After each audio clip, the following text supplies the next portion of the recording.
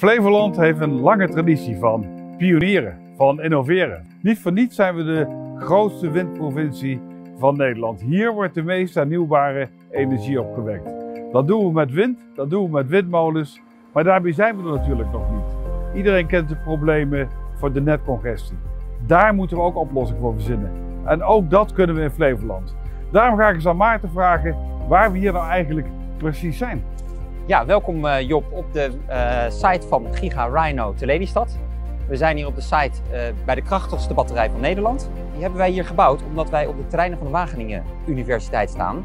En daar hebben ze dus heel veel duurzame opwek met windmolens en in de toekomst ook met zonne-energie.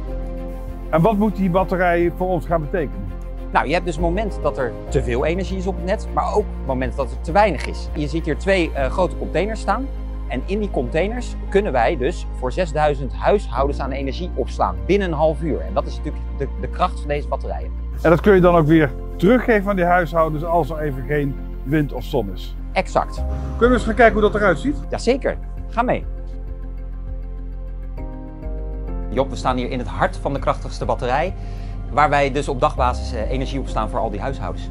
En het mooie uh, daarvan vinden wij, en dat ondersteunen wij ook, dat ook onze projecten allemaal voor een deel gecrowdfund worden. Om de mensen erbij te betrekken. En dat is toch hartstikke mooi, want dat betekent echt dat het niet alleen eigendom van iedereen is, maar mensen ook gezamenlijk verantwoordelijk voelt. Precies. En we moeten het samen doen en we hebben samen ook, plukken we daar uiteindelijk de vruchten van. En dat is volgens mij een mooi voorbeeld van hoe we ook in Flevoland gebruik maken van de mogelijkheden van de omstandigheden, die daadwerkelijk in de praktijk te brengen in het groot, in het echt. Ons programma Energie in Balans is daar een goed voorbeeld van en laat zien hoe veelzijdig Flevoland is.